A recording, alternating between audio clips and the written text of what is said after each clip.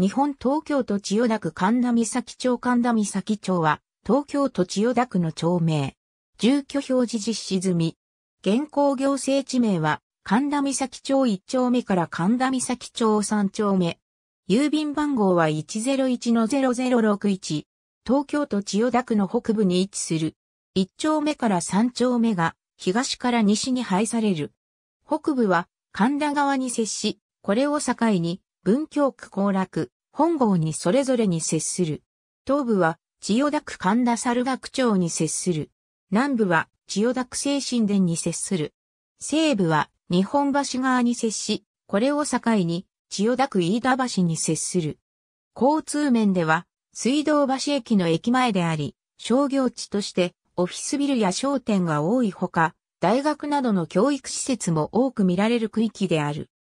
1967年4月1日の住居表示実施に伴い、三崎町の町名が付けられたが、猿学町と共に神田を干渉した神田三崎町への町名変更を求める住民運動が起き、2014年10月15日に千代田区議会で町名変更の議案が可決され、2018年1月1日より神田三崎町の名称が復活した。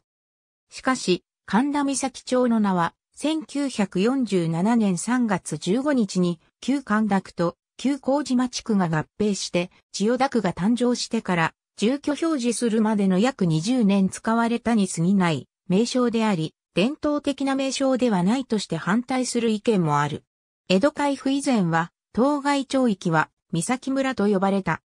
江戸時代に徳川家康をはじめとする歴代の将軍が城下町として開発し、大名や旗本の武家屋敷が立ち並ぶ町となった。江戸時代を通じて小川町と呼ばれ、幕府の公部署が設けられた。1866年11月に公部署は廃止され、陸軍署が吸収。明治維新後は陸軍の連兵場として使用された。1872年に東京府下の町が新町名に改称した際に、当該町域も三崎町と改称した。その後、1890年に陸軍連兵場は三菱社に払い下げられ、跡地の開発が始められた。同じく三菱が所有する丸の内がオフィス街に開発されたのと違い、三崎町は市街地として開発された。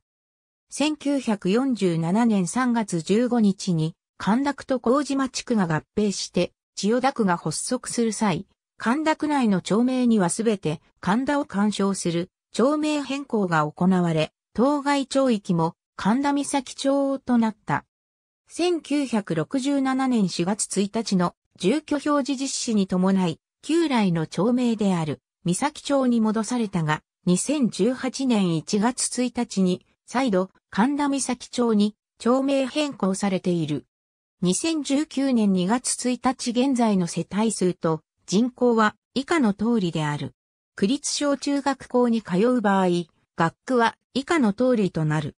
なお、千代田区の中学校では学校選択制度を導入しており、区内全域から選択することが可能。